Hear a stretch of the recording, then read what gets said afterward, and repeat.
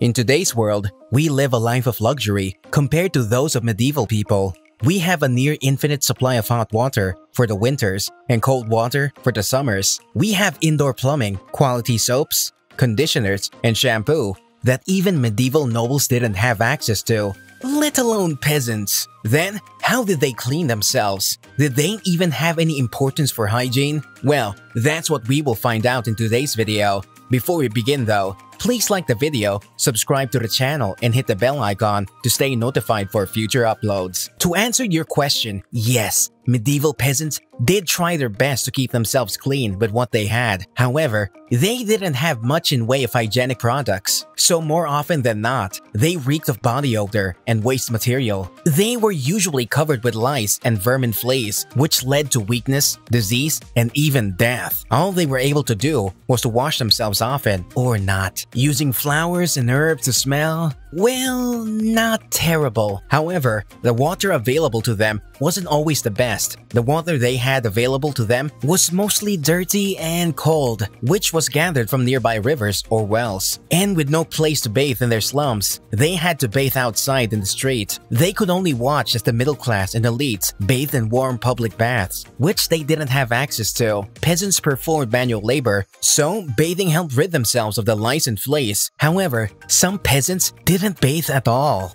Because they thought it took too much effort, most peasants owned just one set of clothes, which were rarely ever washed. They understood that washing their clothes and undergarments would protect them from parasites and diseases. However, that was almost always not an option because they couldn't afford another set of clothes to wear while their current ones were being washed and dried. Those who owned another set of garments washed them once a week as they changed into the other. They washed the clothes in the rivers with lye soap, but that wasn't always the best option since the rivers were polluted with animal and human excrements. The peasants were also unlucky when it came to the use of toilets. They made do with outhouses, which were shared with the community. There were some places where even outhouses were unavailable, and they had to make do with waste buckets, which were emptied in a cesspit or a river. They used materials like moss or hay in place of toilet paper. All these poor hygiene choices made it common among peasants to have fleas, lice, and parasites. It was so common that combs were made with finer bristles that could remove lice and other insects from the hair while brushing. Even so, it was considered important to keep themselves as clean as possible. So, even though peasants couldn't take showers with clean water or wash their clothes, they did wash their faces and hands regularly because it didn't require much effort to collect water in containers and carry them all the way to their homes. Medieval peasants were mostly bearded. The reason for this is because many of them couldn't afford to go to a barber and pay him to shave. They couldn't even afford to do it at home, as mirrors were luxury items, made of polished and waxed metals. They slept on straw bedding, which wasn't as comfortable as the beds the nobles slept on, but got the job done. However, the bedding is supposed to be changed regularly, which many peasants didn't do, and this led to bugs and flies nesting inside and staying there for a long period. Hence,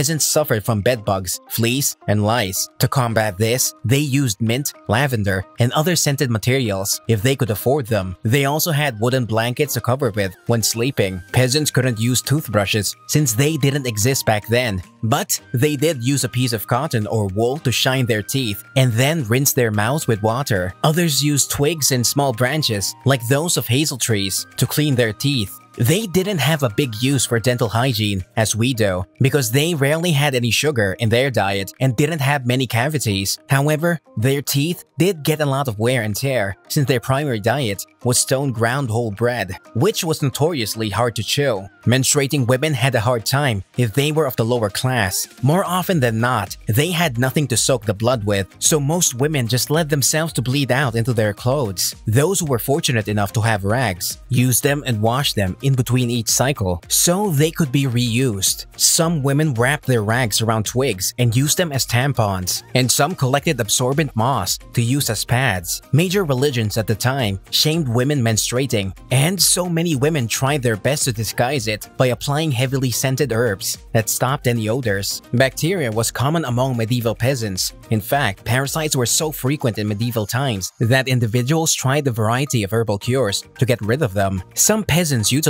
simple household goods to attract fleas that have contaminated people's mattresses, such as smearing glue on a slice of bread and sticking a candle in the middle. Other methods, such as rinsing hair with sea salt water or sniffing lavender, proved ineffective in getting rid of lice nets. If the crazy glue toast didn't work out, what do you think of the hygiene of medieval peasants? Let us know in the comments below. With this, we're going to wrap up this video. If you enjoyed it, please make sure to hit the like button and subscribe for more history content. We hope to meet you guys again in the next video. Till then, adios.